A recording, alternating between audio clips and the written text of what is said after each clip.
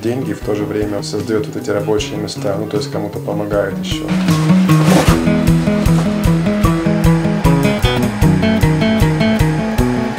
Мы тогда подумали, что, блин, а как было бы круто делать такой э, шоколад, шоколад на меду без сахара.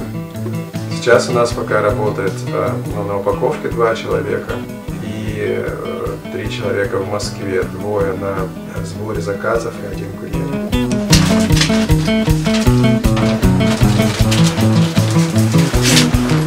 Вот это моя комната.